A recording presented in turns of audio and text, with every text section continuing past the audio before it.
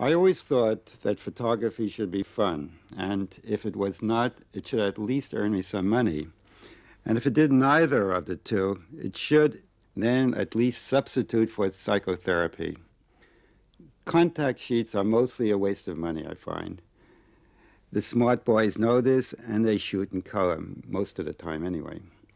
99.9% of the frames on a contact sheet are the mistakes one makes while photographing. Because it is a waste of money, I love them. There are things in life we must do just because we find them unprofitable. Also, contact sheets are private. They belong to me, whereas photographs, once they are out of my hands, take on a life of their own. My most recent contacts are made in, this, in the revolution in Romania. They are full of contradictions, I find. I think of myself as a man of peace, and yet I seem to love violence. In Bucharest, people were being killed around me. One got a bullet in the head and was dead. Yet what went through my head at the time? If I am exposed too long, I would be dead next to him. Then I was also thinking of the famous Bob Capa picture on the Spanish Civil War showing a di dying soldier throwing up his gun that great dramatic moment. So I waited, and I waited, and I waited to get that picture. From behind me, some Romanian screamed at me to get back. He said, This is not El Salvador. I guess he had seen a lot of TV footage on El Salvador.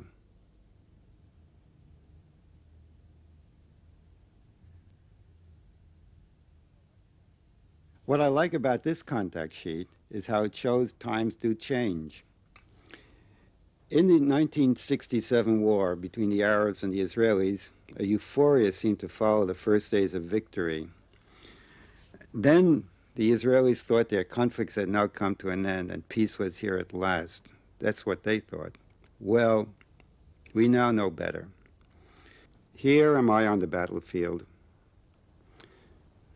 and here are some Palestinians on a battlefield, picking it over. And, and here in Jerusalem, we see an Israeli army patrol returning with their loot. And in this picture is a religious Jew holding his hat so it won't blow away.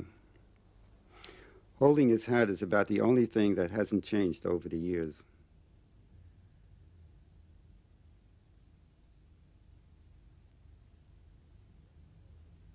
One more war picture.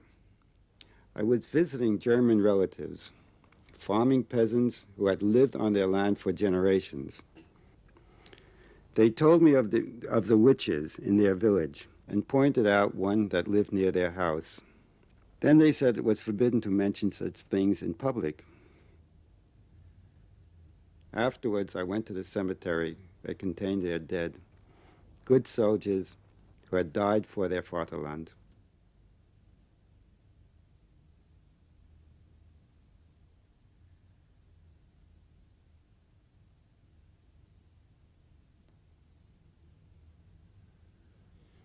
I did a book on black people in America, and it had to do with people like Martin Luther King returning home after receiving the Nobel Peace Prize.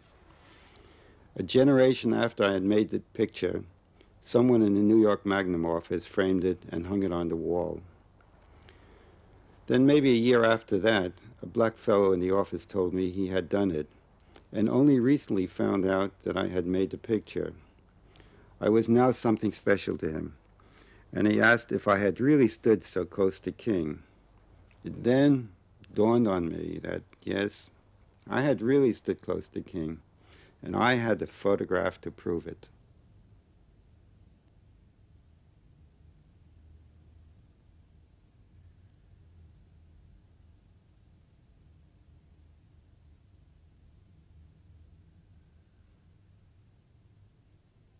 Louisiana, USA printed over the electric door, colored tier.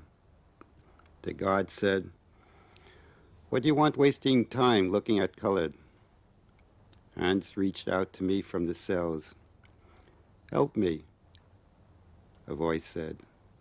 You, you, I need a lawyer.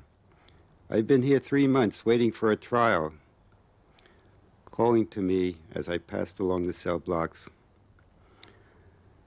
No one knows where I am. Tell my family where I am. You, I'm innocent. Out of the shadows, a voice said to me, I cannot live here. It will be a bloodbath. Yeah, a bloodbath. The guards watched me suspiciously from their chairs in the office. Desegregate this place, it will be blood. Mixing white men with animals. Can't make us do that. The guard said, when it gets too crowded in the colored tiers, we try weeding out the hardened homosexuals and separating them from the newcomers. I wanted to know the black city in my city. I knew black artists, dancers, actors who were living where I lived, and now I visited the neighborhoods they were escaping from.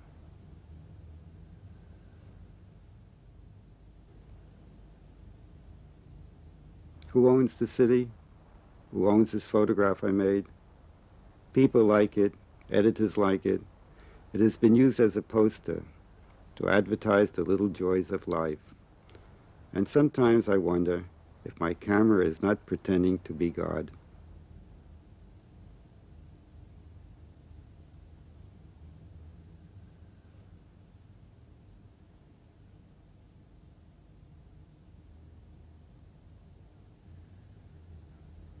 South Carolina.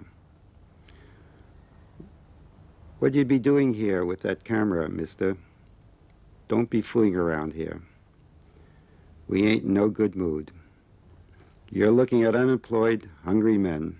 Some been sitting here for weeks waiting for work. It's getting close to shutting time. Won't be no work for us here today, mister.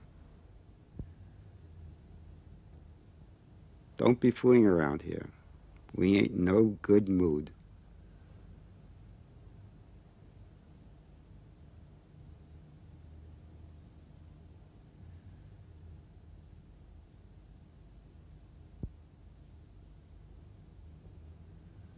I did a book on religion and picked the chosen people since I considered myself one of them, though I never understood why I had been picked. For months I lived in Jerusalem with people who looked like my grandparents. What these people thought of me, I never knew, but they couldn't throw me out as I was a member of the tribe. I went into their inner sanctums. I danced and sang and prayed hour after hour, after hour until one day I said, enough, and whipped out my camera and clicked off 11 frames. Someone caught me, winked, and said, enough.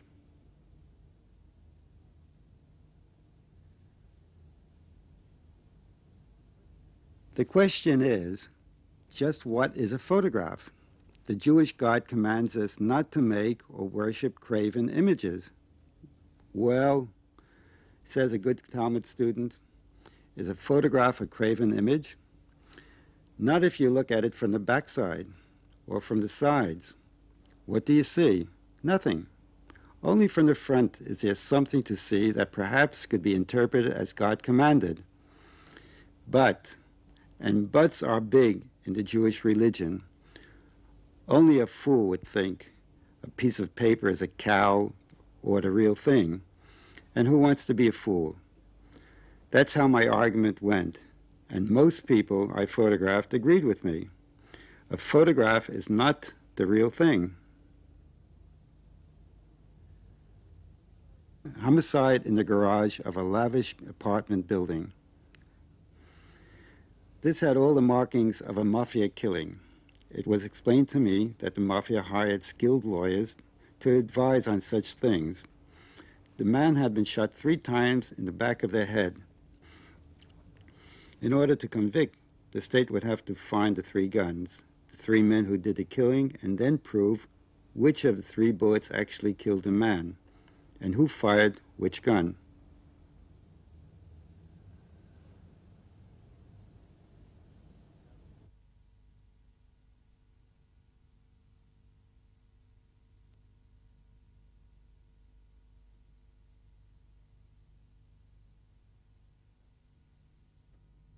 The establishment magazine, the London Sunday Times, asked me to do a story on violence.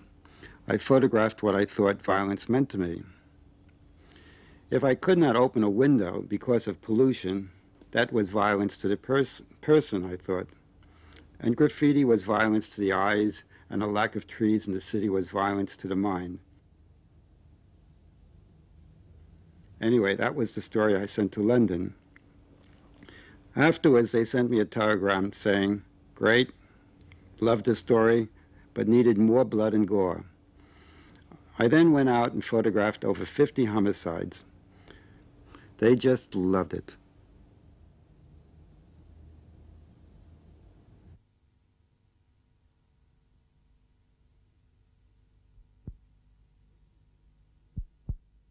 Over the years, I learned the ins and outs of working with the police. I can only conclude there is a kind of madness when a sane, grown up man walks around with a gun. Yet I'm not against it. One dull night, an officer brought in a puppet. It was real fun. The puppet asked questions of fellow police officers, even of the puppeteer himself. In the end, those who did not give satisfactory answers were shot by the puppet.